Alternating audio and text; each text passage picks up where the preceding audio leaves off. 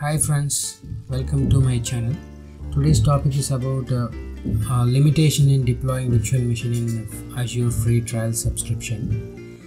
Uh, I have created this uh, free trial subscription few weeks before uh, to create a series of demo videos. Uh, but during the video creation process, I have faced a lot of technical challenges one of the challenge uh, two days before i have posted is about uh, a challenge in creating a vnet and uh, after the research i found uh, we have to register the uh, provider in subscription to deploy the virtual network similarly uh, for a vm deployment i was navigating the configuration wizard one by one to populate the vm configurations in the particular section called disk I'm not able to enter the disk details uh, from the drop down because the drop down looks empty and it's a mandatory field. I'm not able to navigate to the next level because of this empty field.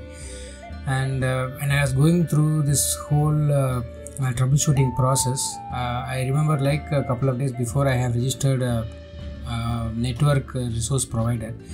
Similarly, I was checking on whether the compute services got registered or not. So then I found uh, Microsoft.compute as a resource provider is not registered in a subscription level so then i navigate to the subscription settings and select the appropriate resource provider and uh, registered my microsoft dot uh, compute uh, services from the subscription.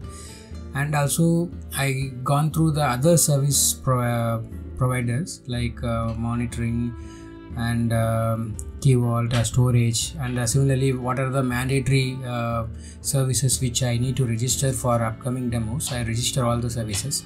And then um, navigated back to the configuration wizard. Now i'm able to complete the configuration without any issues. And now i'm able to deploy the virtual machines.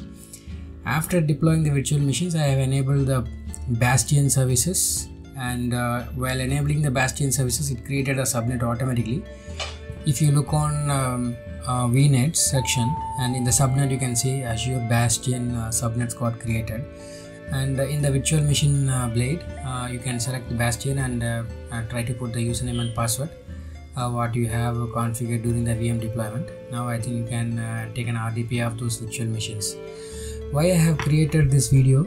In a microsoft free trial subscription most of the Microsoft resource providers are not registered properly. Uh, it's in not registered mode. So whenever you have signed up for a free trial subscription, please go ahead to the subscription and uh, look on the resource provider settings and uh, search through all the uh, resource providers which are mandatory for your uh, POC related work or demo related work and register it and then proceed for the deployment